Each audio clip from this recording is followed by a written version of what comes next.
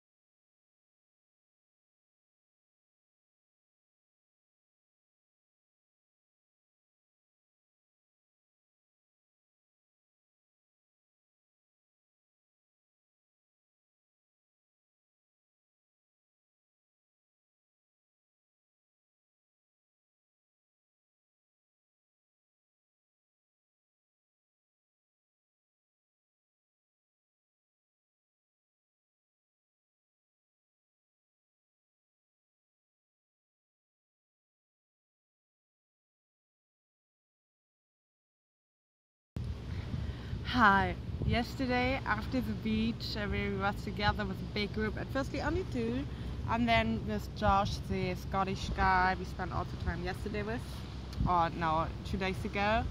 And um, yeah, after a bit, there comes more and more from the hostel. And then we watch it together this sunset. And after that, we go back to hostel for taking shower and something, and then we decide to go dinner together to, to go to eat dinner together. And we were sitting on the balcony of the hostel and talking about one and then one guy from the hostel said yeah there's one good restaurant but it's a bit far away. And he, he said okay I have a pickup truck. Come in and I bring you there. And then we sit down in the pickup truck, like behind, um, some inside, but the most behind.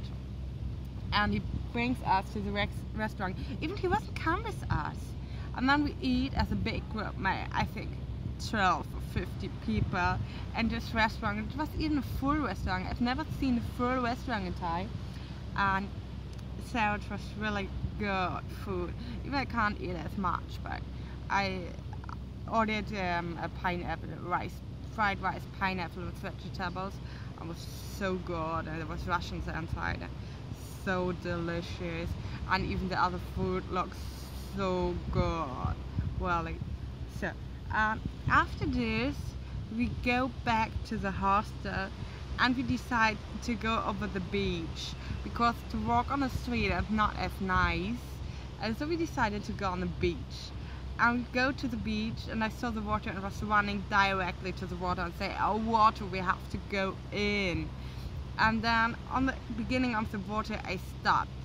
And as the two Austrians was talking about the yeah the sparkle plankton they have a trip and co-pp and, and I think oh look this one it's sparkling directly on the beach it, it that the sparkling plankton and they say yeah but it's not a lot. Maybe it's every three or four meters one of the sparkle plankton. But one Josh and me we were so fascinated about it. Really so fascinated. The others only look at there I was not so in it but we were so really we were so fascinated. We walked so slow on the beach and found each we saw we was looking on for maybe five minutes like five minutes.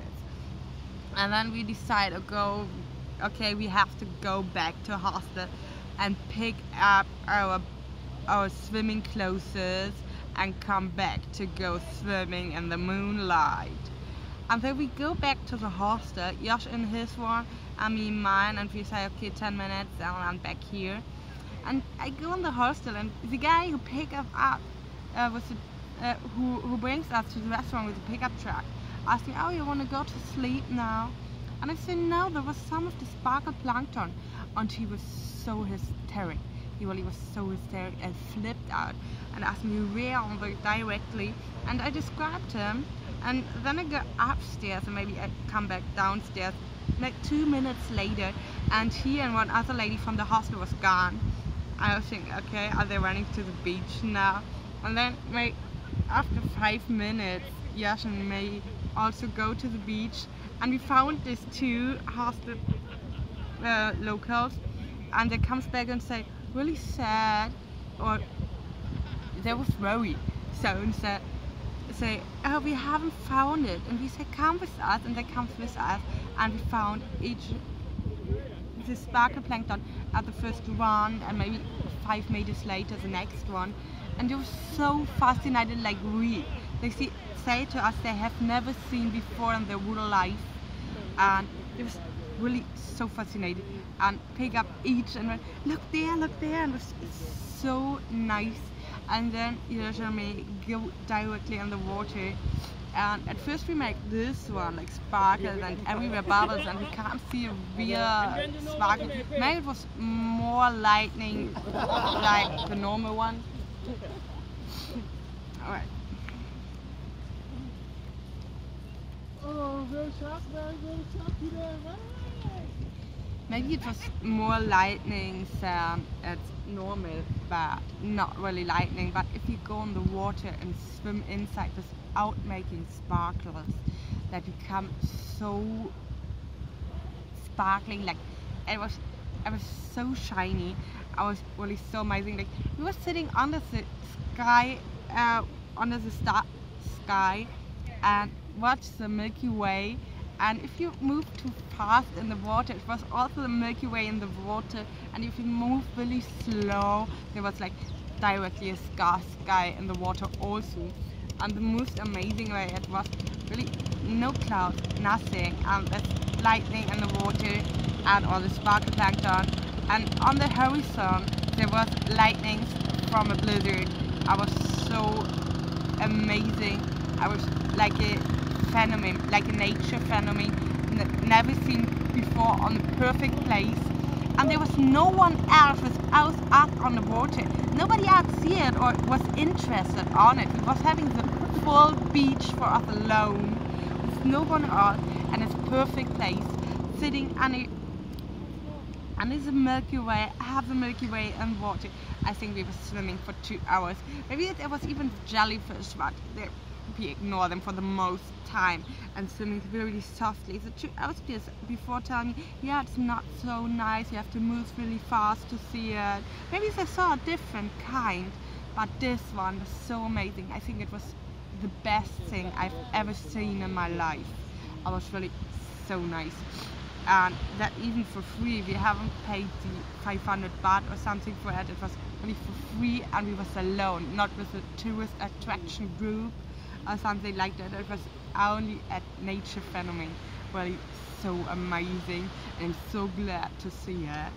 Yeah it was so good. It was really the perfect night I guess. And I really hope to see it again because it was so amazing. And I tried to make a video of it but it was not shiny enough even if there was sparkling any everything in the water really everything I can't describe how it is. It's like skydiving but not with the the normal one. It's like like diving in the sky directly in the stars. Like you can move and each moving of your hands catch the stars and bring them. Make them in a circuitry like I was so or a wave in the stars. I was so so amazing. And we were sitting the whole time there and saying it like oh it's so amazing we can't go out it's so good and even for free. But I I really want to talk my whole life about it it's so nice about it. No but I can't. I think it's too much for the most. And it was really so nice